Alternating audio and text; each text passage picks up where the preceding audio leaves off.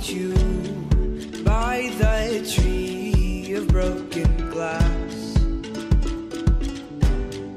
Where the hope, the hope that anything could last. So let's go and take the words that we know and toss them in the sea of thoughtful